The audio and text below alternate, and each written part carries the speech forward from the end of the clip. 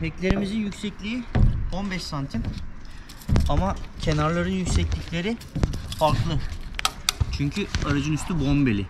Bombeli indiği için buradaki yükseltilerin en az 20 santim olması lazım. O yüzden buralardan 20 santimlik ayaklar yapacağız her iki tarafa. Daha sonra üstüne 2 metrelik uzun bir profil koyacağız. Böyle 5 tane profil gelecek öne doğru ve onların üstünde de güneş panelleri gelecek. Elimizde bu aracın içinden çıkan U profiller var. U profillerin delikleri de var üzerinde. Bizim çok işimize yarayacak. Zaten tavandaki e, çıkan vidaları da bunları geçireceğiz. Üstten somununu sıkacağız. Bunları da 30'a 40'lık profil var elimizde. Bunu bu şekilde kaynatacağız. Yani şöyle elimizde ayaklar olacak. Bunların hepsini ikiye bölmeyi düşünüyorum. Elimizde kaç tane ayak hesapladık? 14 mü? 14 tane 20'şer santimlik yükseltiler olacak. 30'a 40 kullanmamın sebebi aslında daha ince de kullanabilirdim. Ama tenteyi de buna monte edeceğiz. Tenteyi de monte edeceğimiz için birazcık daha güçlü bir şey olsun istiyoruz. Üstüne de 20'ye 40'lık profillerimiz var. Çatıda gösterdiğim. Onları oturtacağız. İkişer metrelik. Yaparken daha güzel anlaşılır.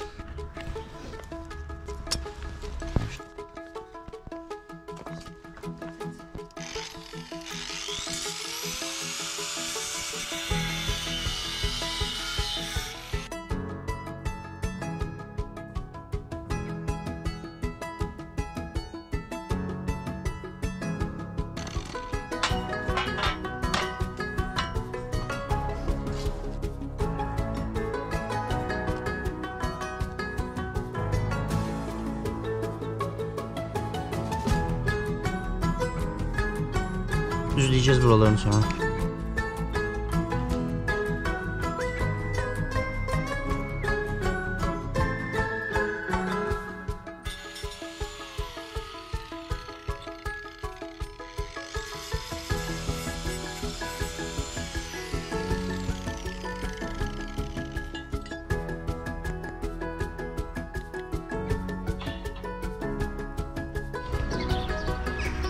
Dört oldu.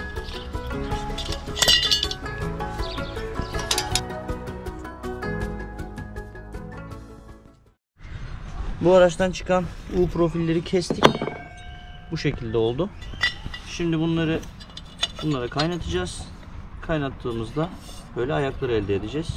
Bu ayakların şu delikli taraflarından da tavanımızdaki vidalara vidalanacak.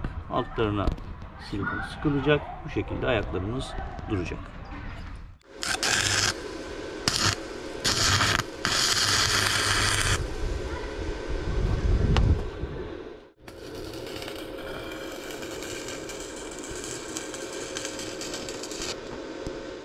İlker dışarıda kaynağa devam ediyor. Bana şöyle bir görev verdi şimdi. Şunların kenarlarındaki şeyleri şunla vura vura fazlalıklarını atacakmışım. Böyle bir görev verdi. Bunu yapmaya çalışıyorum. Şu şekilde.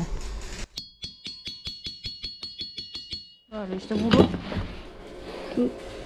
saçma şeyler üstlerinden çıktı. Onu yapmaya çalışıyorum ben de.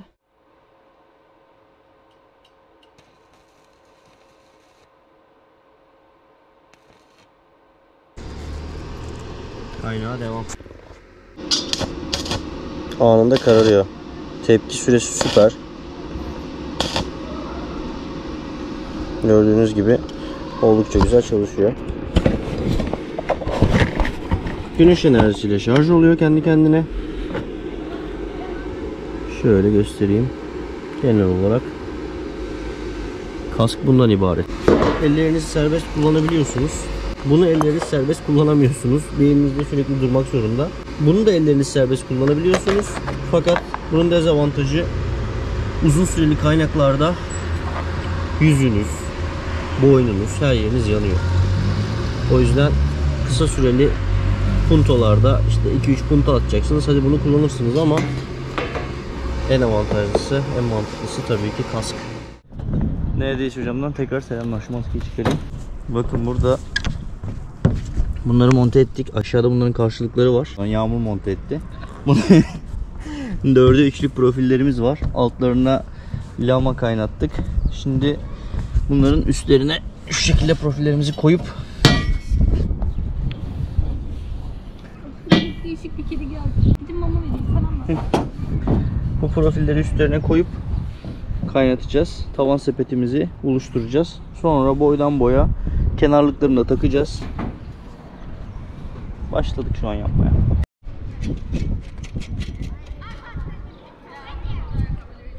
On dört. Tamam. 14 Burası da 14. Burası da 14. Tamam. Ama ben bir ölçeyim ya ben de bir. Al. Aynı el ayarıyla bir ölçeyim.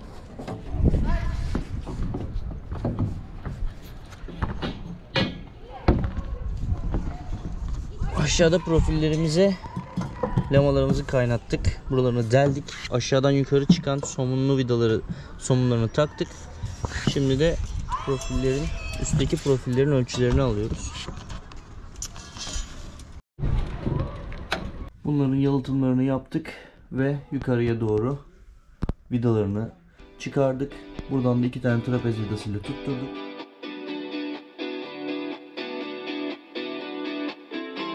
Temizliyorum temizliyorum gitmiyor bu çamur. Bugün buralara pas boyası atıp hazırlamamız lazım panel sepetine tavanı. Tekrar temizlik yapıyorum. İki kere sildim. Önce bir fırçaladım. Ee, durum bu yani şu şekilde. Köpüklü bir fırça yaptım ama çamurlar tam olarak gitmedi. Şimdi elimle bezle devam ediyorum. Tekrar bir fırçayla köpük yapacağım. Bilmiyorum bakalım nasıl olacak ya. Hava çok sıcak, tepede güneş var. Kolay değil arkadaşlar. Bu işi yapabilmek için çok istiyor olmak lazım gerçekten. Hani kimse şu eziyete kolay kolay girmez. Kimseye de tavsiye etmiyorum zaten. Eğer bu işi çok istemiyorsanız sakın girişmeyin. Temizlenmiyor buralar İlker. Aşkım bırak ya. Yorma kendini. Yorma kendini. Nasıl boyayacağız temizlenmesi? Boyamayız ki.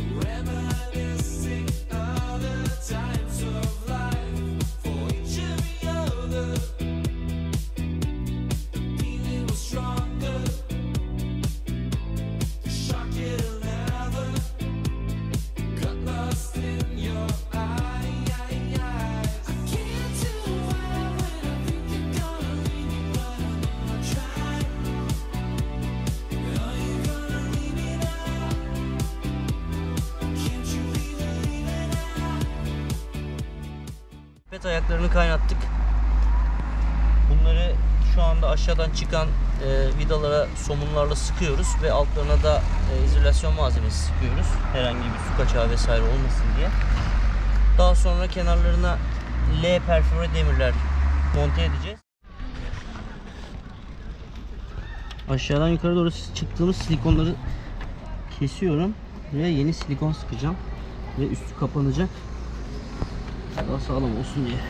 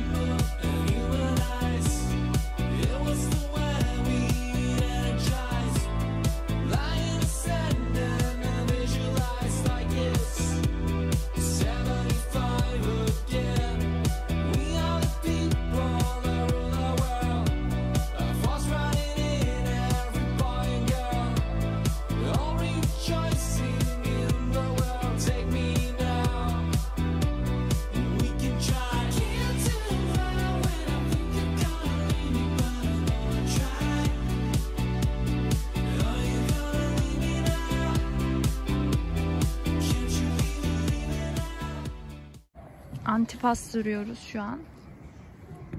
Sabaha kadar kurusun diye. Yarın da boya atacağız üstlerine.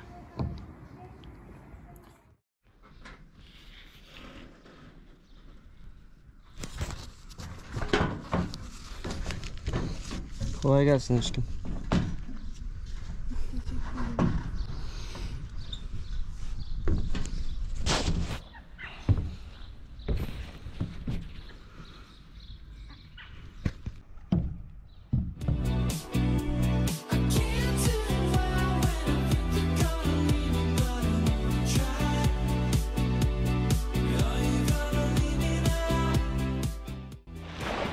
Tavan sepetimizi boyadık. Şimdi kurumasını bekliyoruz. Beklerken de biraz dolaşalım dedik deniz kenarında. Su çok güzel bugün. Dümdüz üstü bakın.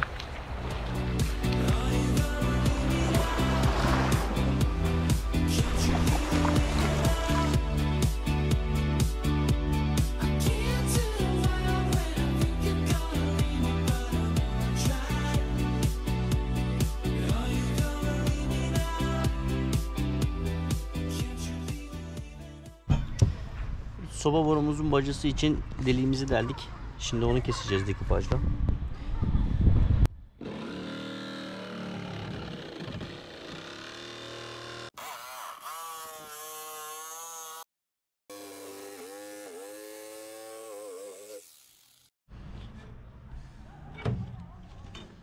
Şuralara şimdi eee, şundan uygulayacağız. Yağmur boya yapıyor. Bu da bizim soba borusu deliğimiz. Hamirit boya kullandık yukarıda. Çok pahalı ama gerçekten güvenilir bir malzeme.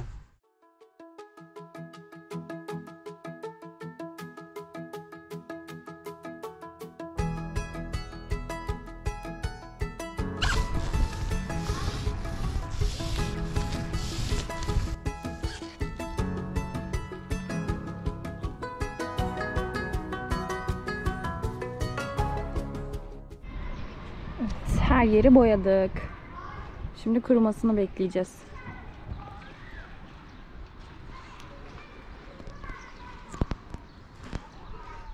Bugün bayağı bir iş yaptık.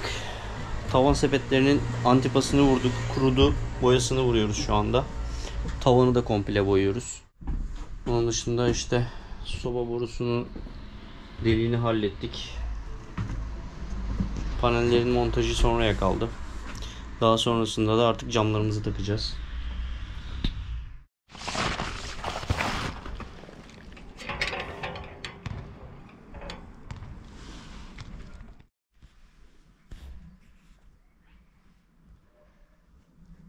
Soba borumuzu yukarı çıkardık. Üzerine e, tüttürmez fır döndüsünü taktık.